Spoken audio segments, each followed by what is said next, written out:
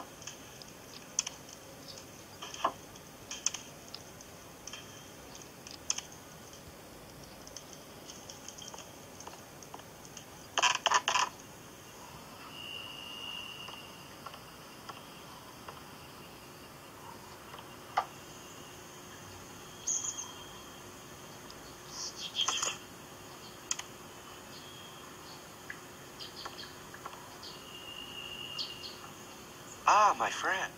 You're awake at last. How are you feeling? My name is Joram. I'm one of the healers here. As to how you got here, well, it's an odd tale. Three days ago, while I was searching for some herbs on the edge of the forest, you're in my house in Aleroth, a small community of healers. In normal times, this place would be bustling with activity, but you mean apart from the orc bandits infesting the woods, and the fact that we've lost contact with the source? Well, our leader, Mardaneus by name, seems to have... Yes, that's the only way to put it. He's constantly raped. That's good of you, my friend. And I don't want to sound rude, but follow the street outside my house. Uh, before you go, I couldn't carry your belongings with me when I brought you here.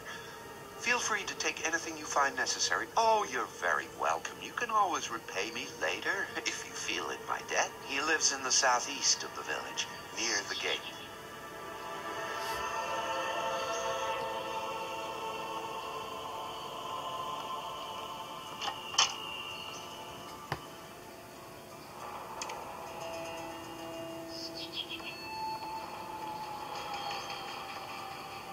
I can't use that. I'm not able to use that.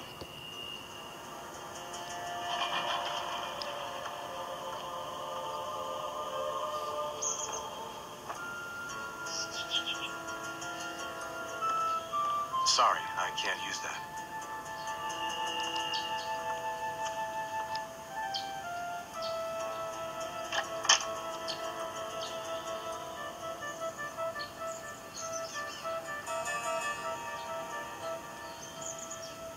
Mardaneus, my poor old friend.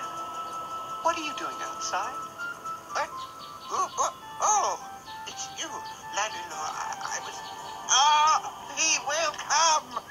The end is upon us. Shalom. You're raving, Mardaneus. You must take more rest. Come, let me take you home. But Nemesis is near. We must be vigilant. We must be pure. We must uh, behave.